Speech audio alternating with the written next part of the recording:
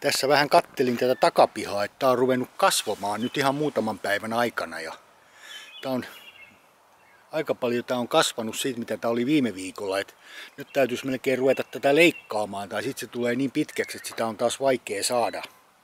Täällä muuten noin valkovuokotkin rupeaa jo kukkimaan tossa. No, ne leikataan pois, niitä me ei tarvita, mutta niitä ei ole oikein paljon täällä nyt ole kuitenkaan. Et... Joo, kyllä tän voi tässä, jos huomenna aikaa, niin täytyy koittaa ajaa tää.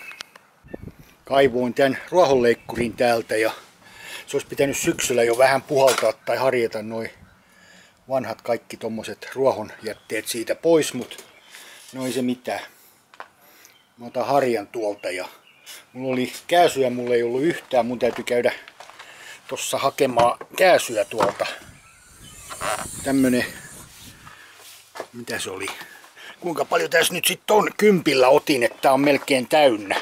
En tiedä kuinka monta litraa tää on, mutta se oli muuten, täällä jotain 38 litraa, et vähän alta vissiin euron.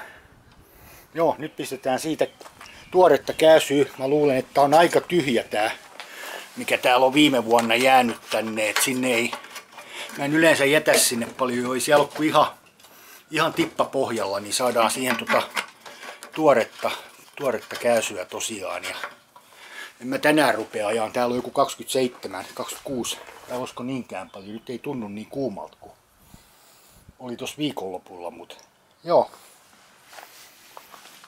Siitä vaan käsyä koneeseen ja tosiaan mun täytyy vähän harjata noita roskia siitä pois, niin mä en edes tiedä muuten lähteekö se käymään, kun mä vaan jätän sen syksyllä tänne.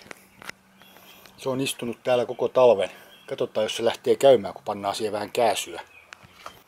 Niin tuossa matkalla, kun hain tuota kääsyä, niin mulla ei ollut mitään ei voi mitään tehdä ruokaa, niin mä otin tämmösiä kaalikääryleitä, kaksi kaalikäärylettä tosta metrosta ja siinä on tuommoinen koristeeksi laitettu yksi vihreä lehti, mutta ne on taas oikea oppisesti. Täällä on aina kaalikääryleet on noissa tomaattikastikkeissa, jos ei ne ole erikoisesti sit tota, jotain ukrainalaisia tai semmosia. Et.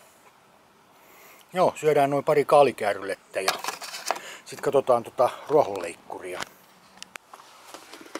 tankki täyteen ja sitä menee pikkusen tonne ylikin, mutta ei se mitään haittaa. Ei se maailmaa kaada, jos sitä vähän menee yli.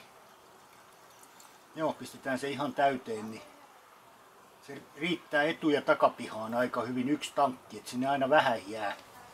Noin. Se on nyt hyvin täynnä. Sitten vaan katsotaan, jos se lähtisi käymään.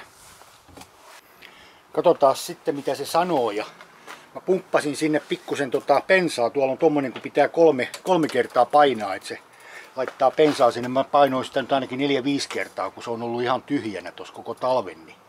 Katsotaan, jos tästä nyt nykästää, niin lähteekö se käymään vai ei lähde.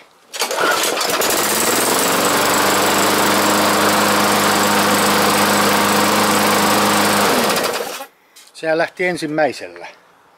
Todella hyvä. Ei tarvi enempää tehdä työtä sen kanssa sitten. Se terä pitäisi olla hyvä. Mä en tiedä noista öljyistä, pitäisikö niitä vaihdella, mutta ei kai sitä nyt vielä tarvi vaihdella. Kyllä mulla tuolla öljyä olisi, että ne vois vaihtaa. Joo, se lähti käymään ihan heti, et ei mitään ongelmaa. Lähteekö se muuten uudestaan ilman pumppaamista?